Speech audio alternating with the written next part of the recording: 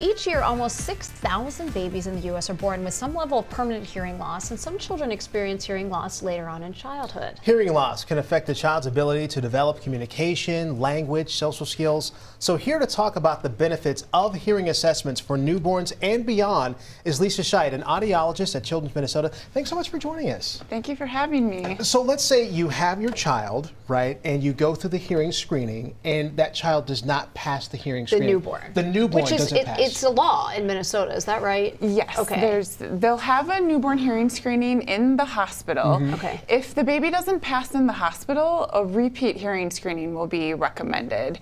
If they don't pass the repeat hearing screening, then it's really important that they see an audiologist for a full hearing evaluation as soon as possible.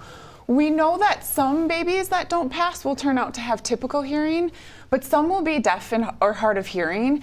And there's so much research in our area that shows us that babies that are identified early as deaf or hard of hearing and have an earlier start to their treatment and early intervention services will have significantly better outcomes for their communication and language development. Why is that?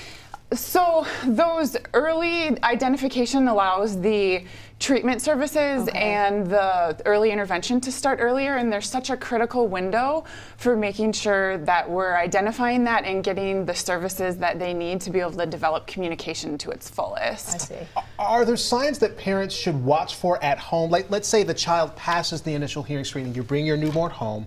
Are there things that parents should watch for at home? Just say, you know what, I'm still a little, I'm still a little leery here. Yes. So, and it's true, a child's hearing can really change at any point, and caretakers and parents often are the first to recognize those changes. Mm-hmm. So, some of those signs to watch out for would be if your newborn isn't startling to very loud sounds. Or if your infant just doesn't seem interested in your voice or isn't turning towards your voice, or if your child at any age is having difficulties with communication development or attentiveness at home or at school, those would all be things to watch out for and then talk to your pediatrician about if they need a hearing evaluation. Because even if they pass the newborn screening, doesn't mean everybody's in the clear. Mm. Let's say when you're a toddler or even, you know, a five-year-old, six-year-old.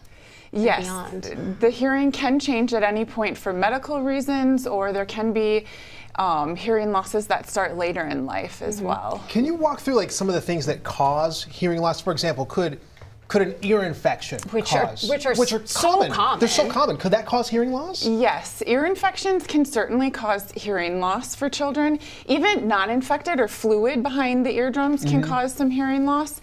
Most of the time, that type of hearing loss isn't permanent, but even a temporary change in hearing, if it's happening chronically enough or if it's taking a very long time to clear, that can start to have an impact on overall learning and language development.